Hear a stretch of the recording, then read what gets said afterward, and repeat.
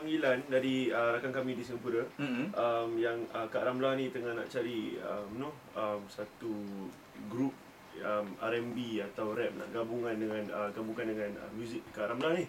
Jadi um, memang uh, alhamdulillah kami dapat um, peluang dan uh, yang yang apa, kami dapat peluang yang yang peluang emas lah kira kan nak Mhm. feature dengan Kak Ramla ni bu- bukannya senang bukannya selalu Betul. dapat opportunity ni kan. Jadi memang uh, kami, kami rasa berbesar hati lah. Uh, jadi kami liaise dengan uh, abang abang Rizal dan um, dari situlah kami rekod di rumah uh, di studio kami dan uh, Kak Ramla tak eh, tak pernah jumpa sebenarnya. Hui. Ha ni first time jumpa Kak Ramla ni. Habis nyanyi, nyanyi tengok gambar je lah. Ha duk gambar je. kita letak kat depan tu kita bayangkan Bayangkan. Okey Sekarang sini Tengok gini gini Kalau lah kat tepi Tengok Ah. macam mana Dia cakap Dia macam antara peminat Kak Kak Ramlah kan. Ah, Betul tak? Ah, Betul lah Ya, ya. Jadi bila uh, ibu ibu ibu ayah kami dengar eh feature Kak Terperanjat Ramla lah. yang, yang, yang betul kan. Ha. Sleep feature dengan Kak, Ram, Kak Ramla ni. Baik kita main-main lah Ya. Main-main Tengah Okey, Sampai kiranya lagu tu ni. uh, korang yang buat lah eh. Bukan bukan bukan. Bukan, bukan. Penciptanya uh, Nizal, Mhm. Abang Nizal um, dan juga uh, ya penyanyi kami kami dua. Ilzal. Okey, jadi uh, lagu tu uh, adakah uh, Kak Ramlah dulu yang record ataupun Slick dulu? Ah, saya dulu. Oh, Kak Ramlah dulu. Dia baru, baru dorang. Jadi mesti masa tu Kak Ramlah tanya-tanya tertanya-tanya kan. Slick, siapa tu Slick? kan? Kak Ramlah sendiri pun nak ucap terima kasih kepada Slik. Ah, Ah, Sudi nak Kak. Ambon. Dah Ya. Kita dah cakap Ini ini jejak kasih dia tau. Dia tak pernah jumpa tau. Dia jumpa kat sini. Sebenarnya memang ni, ni, lah first time jumpa ni. Ah, first time.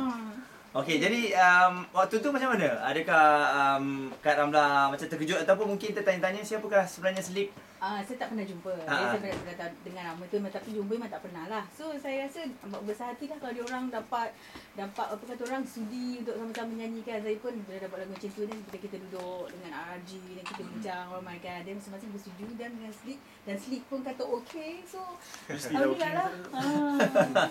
Kalau tak okey nak kena ni. Tiba-tiba Slick cakap oh Kak Ramlah. Oh no no.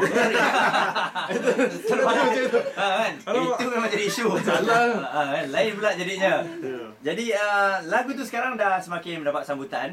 Ya, eh? alhamdulillah ya. Alhamdulillah. Jadi kalau uh, kita lihat gabungan Kak Mela bersama dengan generasi baru Hmm. membuka ruang kepada generasi baru untuk Ya. uh, bersama-sama tu adalah satu peluang yang terbaik kan?